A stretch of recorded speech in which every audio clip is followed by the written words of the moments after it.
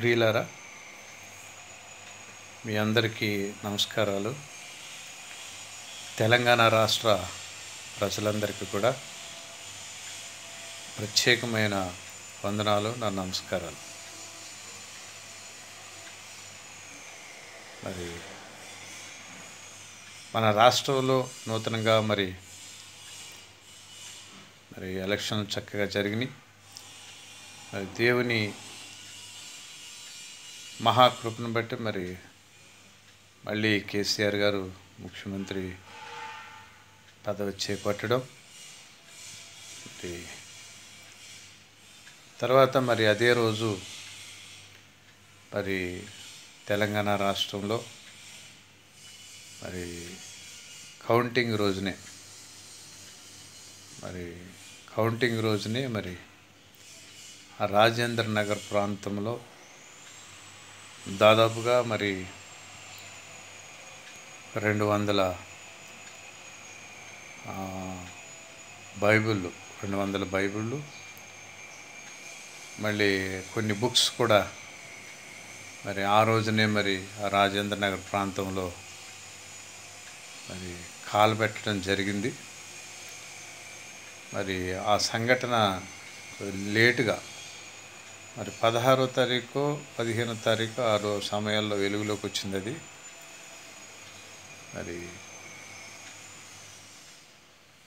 తెలంగాణ రాష్ట్రంలో మరి చక్కగా మరి హిందువులు ముస్లింలు క్రైస్తవులు చక్కగా సోదర భావంతో చక్కగా మరి జీవిస్తూ ఉన్నాం. చక్కని వాతావరణంలో మరి గొడవలు ఏమి లేకుండా చెదురుమదురుగా ఎక్కడన్నా ఏదైనా జరిగినా ఇంతకుముందు ఒక సంఘటన జరిగింది. అక్కడ కూడా బైబిల్ కాలు పెట్టారు. ఇక అయిపోయింది అది సాల్వ్ అయిపోయింది. దాన్ని సరి చేసుకున్నారు అట్లాగ అయిపోయింది. తర్వాత మళ్ళీ నూతనంగా ఎలక్షన్ జరిగినాయి. మరి ఆ కౌంటింగ్ రోజునే మరి ఈ సంఘటన జరగడం చాలా దురదృష్టకరం తెలంగాణ రాష్ట్రంలో మరి హిందువులు కానీ మరి ముస్లిం సహోదరులు కానీ మరి క్రైస్తవులు కానీ చక్కని వాతావరణంలో జీవిస్తూ ఉన్నాం. ఏ గొడవలు కానీ ఇబ్బందులు కానీ లేవు. ఒకరికొకరు చక్కగా సోదరభావంతో మంచిగా ఒకరిని వారు గౌరవించుకుంటూ మంచిగా జీవిస్తున్నాం. అసలు గొడవలు లేవు. కానీ ఈ గొడవలు జరగడానికి కారణం కొంత దుష్టమోక తయారైంది. కొంత దుష్టమోక తయారైంది. వీళ్ళు ఎక్కడికక్కడ విద్యాసాలు మత విద్యాసాలు రేపటం వీళ్ళ పని. మరి కులాల మధ్య మతాల మధ్య విభేదాలు సృష్టించడానికి ఈ తయారయ్యారు కొంతమంది మతోన్మాదులు. వీళ్ళు దుష్టమోక. ఎక్కువ మంది ఉండరు వీళ్ళు. ఏదో కొద్ది మంది ఉంటారంటే వీళ్ళు తుష్టమోక అంతేగాని మరి హిందువుల్లో కానీ ముస్లిమ్స్లో కానీ క్రైస్తవుల్లో కానీ ఎక్కడ అందరూ కలిసి ఉంటారు ఏ ప్రాంతంలో అయినా చక్కగా కలిసి ఉంటారు అసలు ఇంతవరకు కూడా ఎలాంటి గొడవలు లేవు. అసలు రాద్ధాంతాలు లేవు. చక్కగా ప్రేమపూర్వకమైన వాతావరణంలో జీవిస్తూ ఉండవు జీవిస్తున్నాం జీవిస్తూ ఉండేవాళ్ళం కూడా చక్కగా జీవిస్తున్నాం కూడా.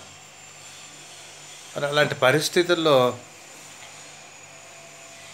మరి తెలంగాణ రాష్ట్ర ప్రభుత్వం కూడా కొన్నిసార్లు స్పందించిన విధం కూడా చాలా బాగా ఉంది.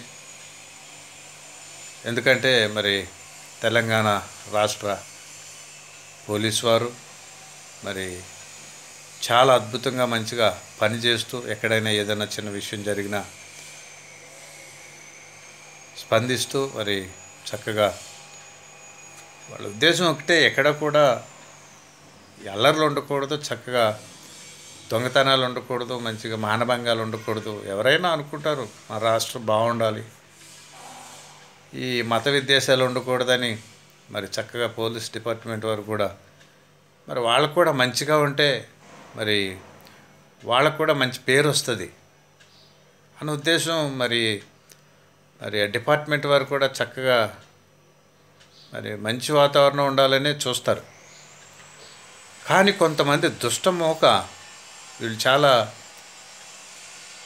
అసహ్యమైన పనులు చేస్తూ ఉంటారు వీళ్ళు. నిజంగా ఇది ఎంత భయంకరమైన సంగతి అంటే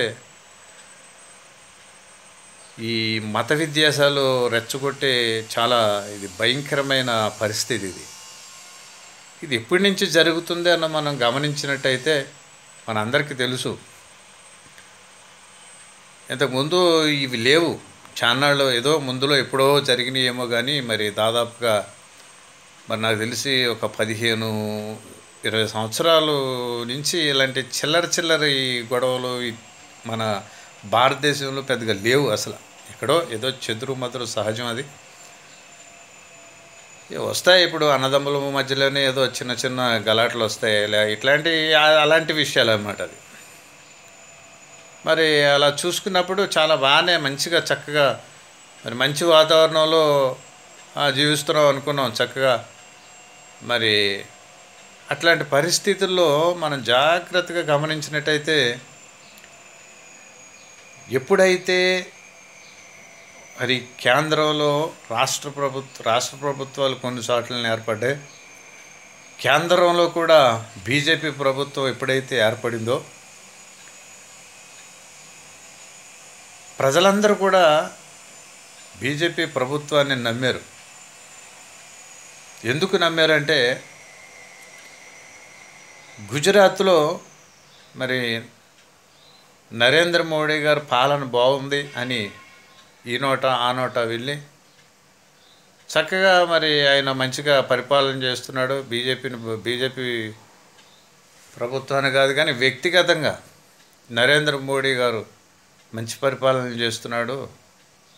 మరి గుజరాత్ బాగా అభివృద్ధి చెందిందని బాగా ప్రచారం జరగడంలో ప్రజలందరూ కూడా ఆ హిందువులా ముస్లింలా క్రైస్తవులా అని కాకుండా అందరూ కూడా సరే ఒకసారి చూద్దాం బీజేపీ ప్రభుత్వం కూడా ఎలా చేస్తుందో అన్న ఉద్దేశం కొంతమందికి ఉంటే మరి నరేంద్ర మోడీ గారు కూడా మంచి వ్యక్తి అని బాగా అందరూ గమనించి మరి బీజేపీ ప్రభుత్వం మరి కేంద్రంలో రావడానికి అందరూ కూడా సహకరించి ఓట్లు వేసాం అందరూ వేసాం. మరి ప్రధానమంత్రి అయ్యాడు ఆయన. ప్రధానమంత్రి అంటే కొందరికి కాదు. ఇప్పుడు ఓటు ఎవరికి వేసినా నెగ్గినా ఎవరేసినా దేనికి వేసినా ఏ ప్రధానమంత్రి అయినా ముఖ్యమంత్రి అయినా ఆ వేసిన వాళ్ళకే కాదు. అక్కడ జీవిస్తున్న ప్రజలందరికీ కూడా ఆయన ప్రధానమంత్రి. అలాగే ఆ ముఖ్యమంత్రి అయినా ప్రధానమంత్రి అయినా అందరికీ వాళ్ళు ప్ర- ఆయన ప్రధాని ఇక్కడ ఉన్న వాళ్ళు ముఖ్యమంత్రులు అవుతారు.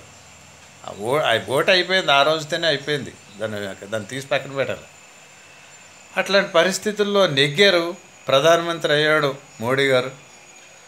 ప్రధానమంత్రి అయిన తర్వాత మొదలయ్యారు వీళ్ళు. కొంతమంది చెత్త గ్యాంగ్ అందరూ కాదు చాలా మంచి వాళ్ళు ఉన్నారు వాళ్ళలో కూడా.